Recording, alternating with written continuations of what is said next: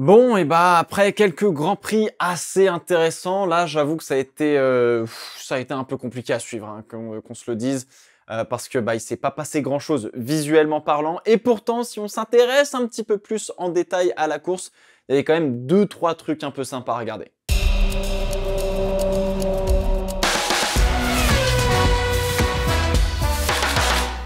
Salut tout le monde, bienvenue dans le Fast 5, 5 réactions sur le Grand Prix du Mexique de Formule 1 2022, c'est parti Allez, première réaction, je vais en parler tout de suite parce que ça fait plaisir, faut être honnête, mais faut souligner la super belle course de Daniel Ricciardo, parti P11 avec une bonne qualification, arrivé P7 dans les points malgré 10 secondes de pénalité. Bah oui, là, ça fait plaisir. Alors le départ est pas ouf hein, de la part de Daniel Ricciardo, il se fait un petit peu pousser par Ocon qui se décale dans la ligne droite et derrière il se fait enfermer par l'extérieur ce qui permet à Tsunoda et Guanyu de passer. Donc le départ euh, un peu pas ouf. Alors en fait à Mexico quand vous êtes euh, derrière au départ le but c'est de se servir de plusieurs aspirations différentes une par une comme ça pour pouvoir remonter. Un peu comme euh, des boosts au sol dans Mario Kart. Je sais pas comment ça s'appelle mais t'as compris la référence. Tsunoda en fait finalement il a parfaitement exécuté son départ de cette manière une aspi, je me décale, une autre aspi, je me décale, une autre aspi, etc. Bon alors Daniel Ricciardo, une fois qu'il s'est mis un petit peu dans le rythme, euh, il arrive à manger euh, Guanyujo au DRS sans trop de problèmes, puis il part euh, sur son long relais en médium. Tsunoda s'arrête pour lâcher les softs et mettre des médiums, et à ce moment-là du Grand Prix, bah, on se dit que ça part pour deux arrêts, grosso merdo. Alors on allonge, on allonge, on allonge pour Daniel Ricciardo, tant que les pneus fonctionnent, pourquoi s'arrêter? C'est une vraie question. Ça lui permet de mettre les softs au début du tour 45 si je dis pas de bêtises, et surtout d'avoir un sacré avantage en termes de performance par rapport aux autres pilotes qui eux ont choisi la gomme dure. Le seul vrai risque, bah c'est de faire tomber euh, les pneus soft, quoi, entre guillemets, quoi. Il faut juste les faire tenir, les softs. Bon, alors, pour ce qui est de l'accrochage avec euh, Yuki Tsunoda, bon, alors là, je pense que c'est assez clair, il n'y a pas grand, grand chose à dire, à part qu'il a été beaucoup trop optimiste, euh, le Daniel durement pénalisé. Je trouve c'est pas tous les jours ou tous les grands prix qu'on voit une pénalité de 10 secondes pour un accrochage comme celui-là. Euh, là, j'ai trouvé ça euh, juste, mais c'est vrai que ça fait longtemps qu'on n'avait pas vu du genre 10 secondes quoi. Alors du coup, en fait, on peut tenter de plonger à cet endroit-là du circuit, mais il faut avoir croisé et décroisé beaucoup plus proche sur les deux virages euh, d'avant.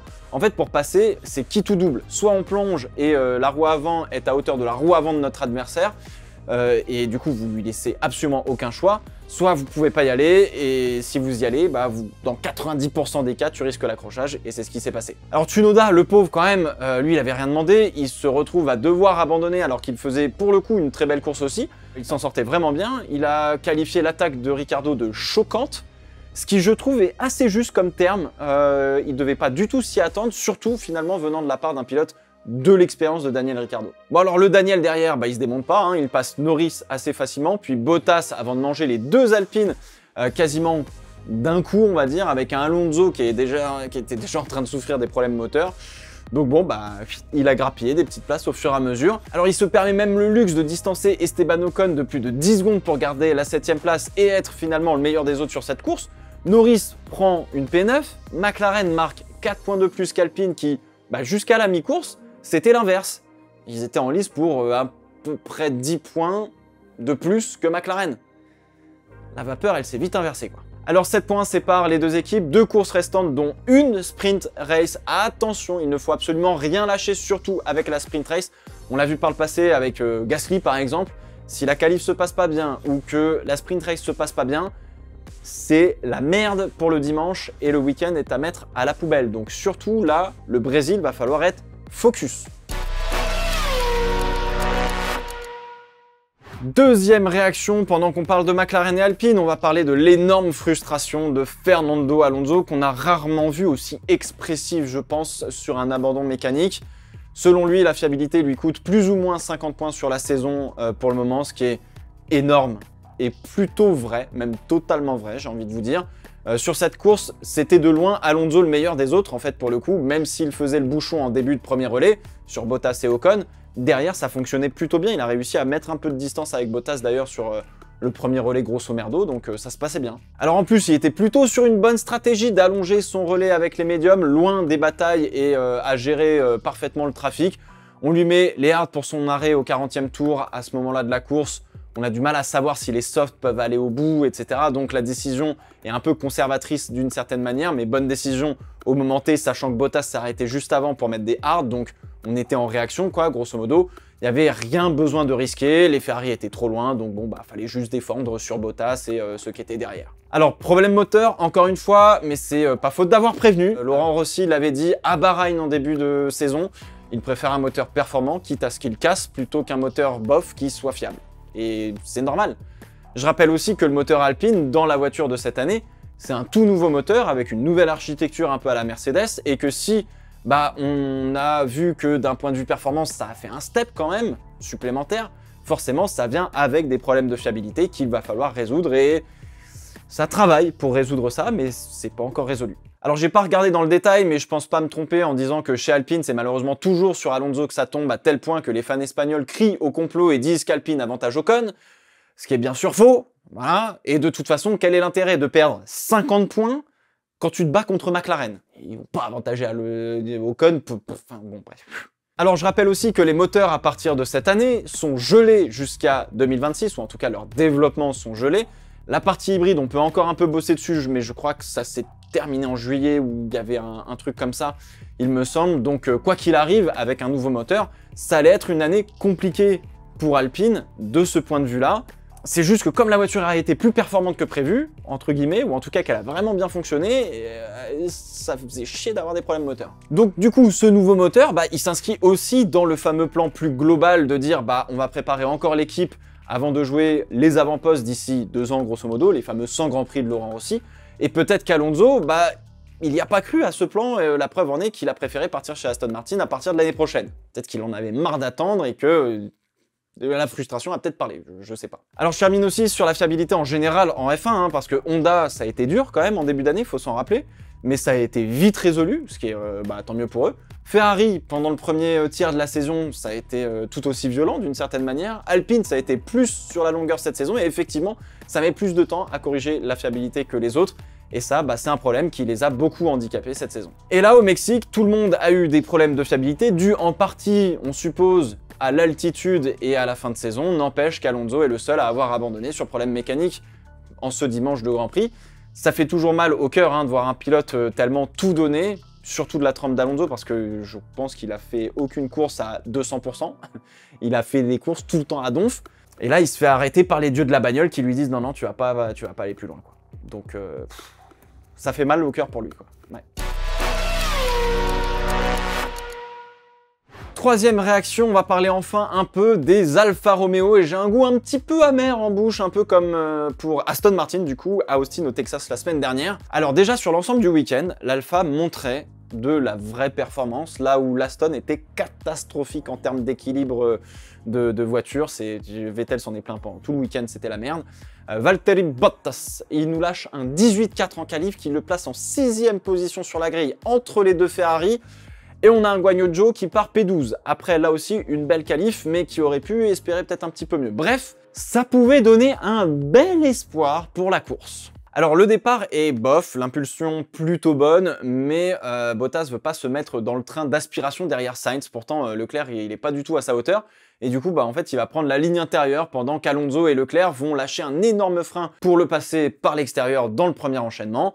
Du coup, Bottas, bah, il reste bloqué pendant un bon moment derrière Alonso, malgré le DRS et 20 km h de plus dans la grande ligne droite en termes de vitesse de pointe. La sortie de dernier virage de l'Alpine, elle est trop bonne, ce qui empêche Bottas de se rapprocher suffisamment pour porter une attaque au freinage du virage numéro 1. Bon alors, Bottas va lâcher un peu la grappe euh, à Alonso hein, et va euh, rester sous la barre, grosso modo, des deux secondes, voire un petit peu plus, euh, pendant tout le premier relais et ça se bat très clairement pour la P7, donc au final Bottas se retrouve là où on espère le voir, mais pas dans la meilleure des positions. Alors Bottas s'arrête au tour 39, il commençait vraiment à souffrir pour le coup, il met des hards, Alonso limite le tour d'après et on repart pour un tour, sauf que bah, il sort juste devant Ocon, le Valtteri, et lui aussi, il est en hard et il est chaud comme la braise, le, petit Esteban, euh, petit grand Esteban, et il se retrouve en sandwich d'Alpine. Alors du coup, Ocon, il est pas fou, il va pas hésiter non plus 45 euh, secondes, il va lui lâcher un giga frein par l'extérieur au virage numéro 1, Bottas tente de contre-attaquer dans la sortie du virage 5, vous savez, après ce, gauche-droite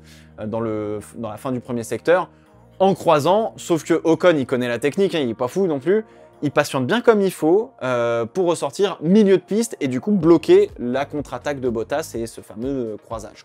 Alors se joint à la bataille un certain Lando Norris qu'on n'avait pas trop vu jusqu'à présent, il le prend à l'aspi et DRS, gros frein terminé, bonsoir, et au moment où Norris dépasse, eh bien Alonso abandonne, plus de place pour le Britannique qui va se faire surprendre à la relance de la Virtual Safety Car, mais ça va, il garde quand même l'avantage sur Bottas. Bottas, il était là, il a failli le manger, hein, le Lando Norris sur la reprise de la VSC là. C'était pas trop mal. Bon, ça fait quelques places de perdu pour Valtteri Bottas, mais attends, c'est pas fini parce que bah, le calvaire continue. Euh, Albon et Gasly reviennent avec leur soft en fin de course. Et ils sont énervés les deux là. il y en a deux là, ils ont envie de tout donner. Euh, d'ailleurs, j'en ai pas fait une réaction entière, mais très très belle course d'Alex Albon. À un moment donné, il falloir aussi souligner ça.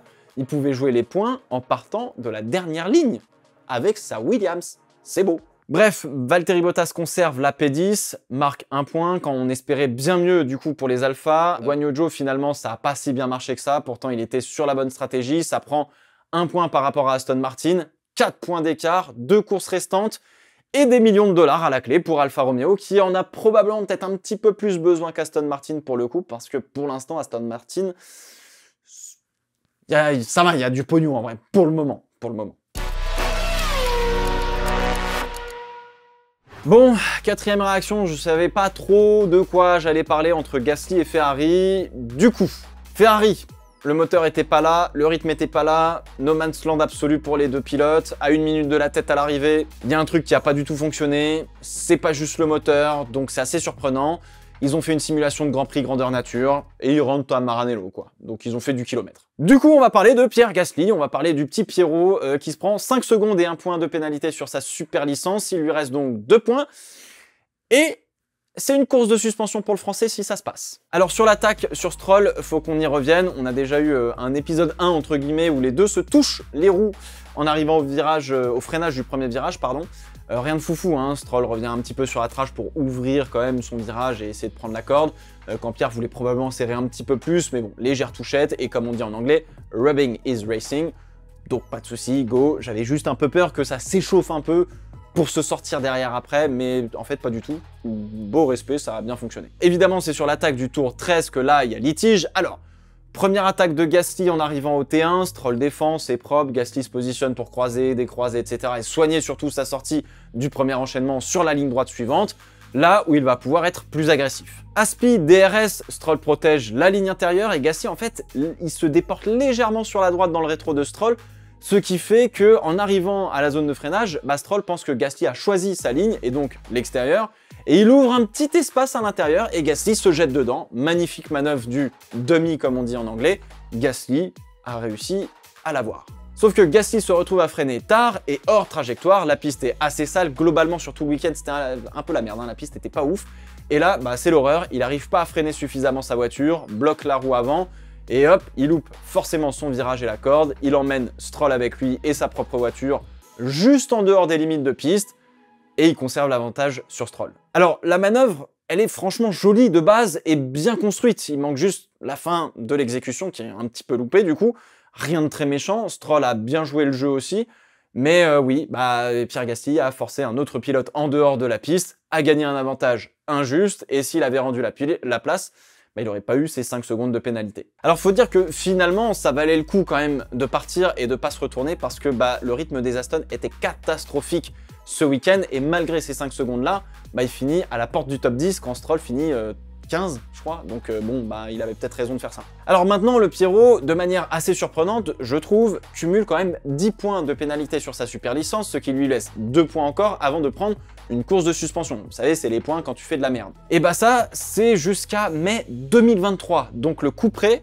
il peut tomber à tout moment. Pourtant, Pierre Gasly, bah, c'est pas le pilote le plus fou ou le plus brouillon ou le plus dégueulasse du plateau, et malgré ça, il se trouve dans cette situation. Et je crois que, bah, il y a pas si longtemps que ça, d'autres pilotes comme Lewis Hamilton, par exemple, euh, étaient un petit peu dans cette situation. Je sais plus si cette année ou l'année dernière, peut-être l'année dernière. En fait, globalement, les points sur la super licence pour mettre des courses de suspension sur des pilotes qui font trop de conneries, trop de bêtises, etc. Oui, bien sûr, il faut c'est un bon ajout, mais le problème réside dans l'attribution des pénalités par la FIA qui sont d'une inconstance sans nom. Et où on se retrouve avec un pilote globalement propre et qui est sous la menace d'une course de suspension. tu fais, what le barème euh, et l'attribution de ces points bah, mériteraient d'être un petit peu revus, probablement. Alors, est-ce que faire une petite dinguerie un peu calculée au Brésil pour se faire suspendre à Abu Dhabi pour être tranquille chez Alpine l'année prochaine, c'est jouable? Les gars, non. Alors déjà, je pense pas que ce soit un pilote avec ce genre d'état d'esprit, globalement. Jouer au con avec la FIA, on est généralement sûr de perdre, parce que bah faut pas oublier que globalement, même s'il y a des pénalités, etc., c'est la FIA qui a le dernier mot et c'est elle qui décide, hein, elle fait à peu près ce qu'elle veut, donc vaut mieux pas faire n'importe quoi. Donc euh, non, Pierre Gasly, il va aller au bout, euh, il va être sage jusqu'à mai 2023.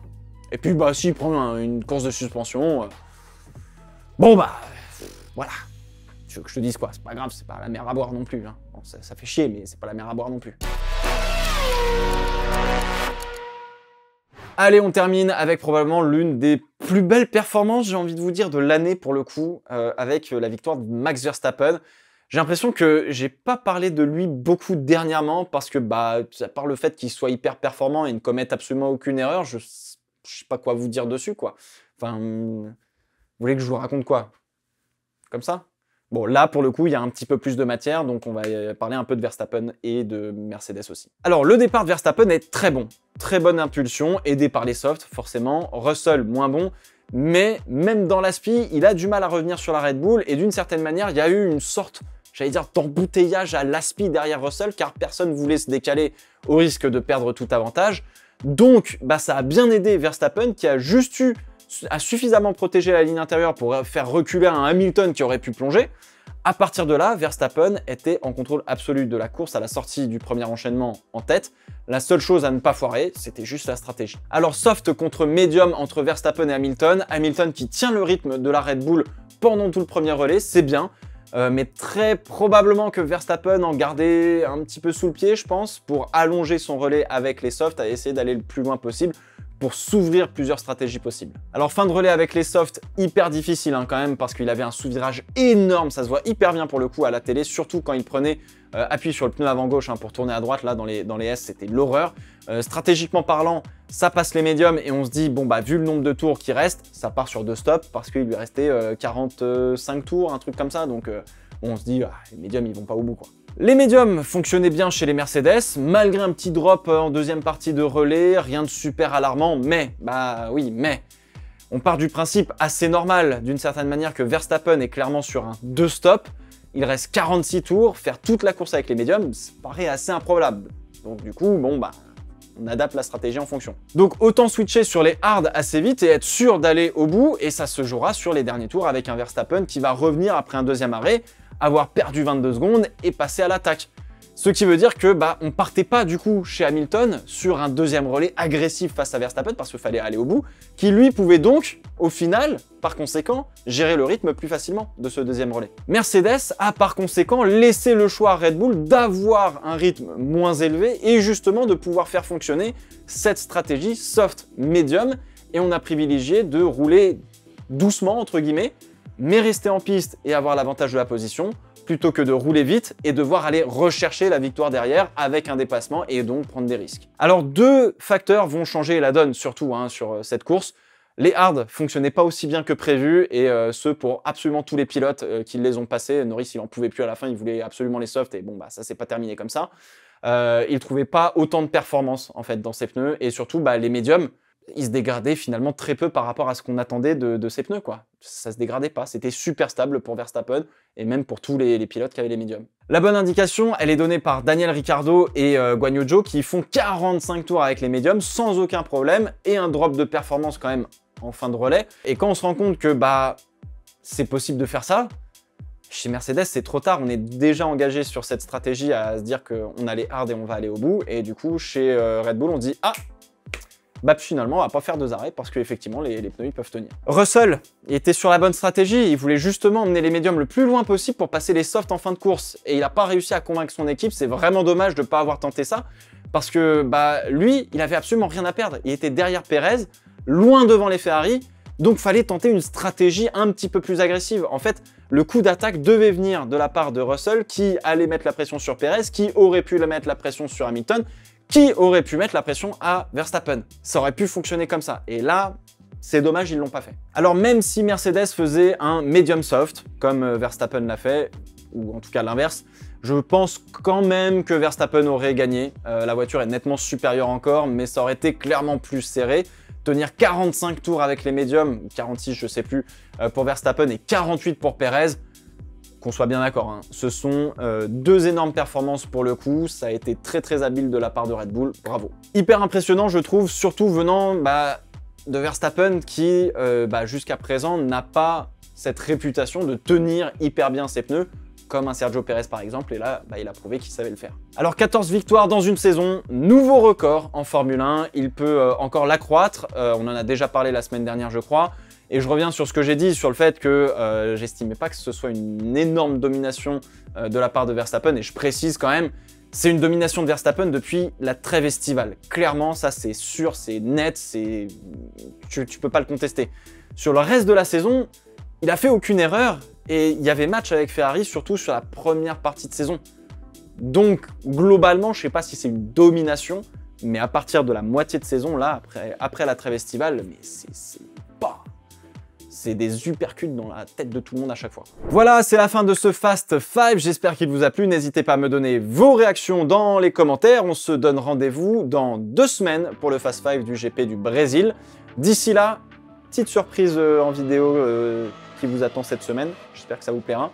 Portez-vous bien. Ciao, ciao.